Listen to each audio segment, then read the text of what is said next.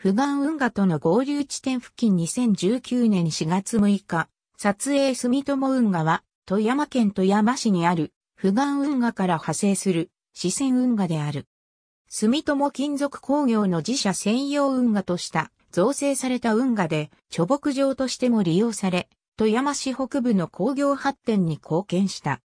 現在は浸水公園として利用され、桜並木と富山地方鉄道富山高線のトラムが共演する撮影スポットにもなっている。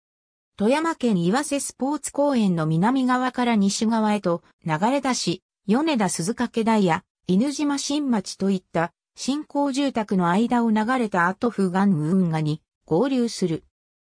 住友運河は1940年に住友金属工業が開削した自社専用運河である。住友運河周辺は戦後に工業地帯として発展し、運河は貯木場として使われた。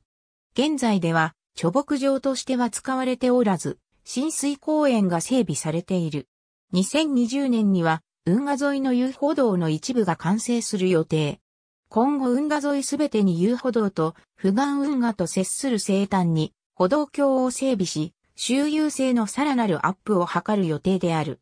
富山県道30号と富山県道177号の橋と富山高線の橋がある。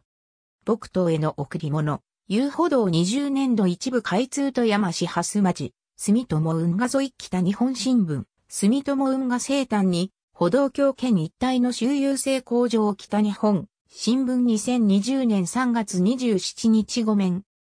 ありがとうございます。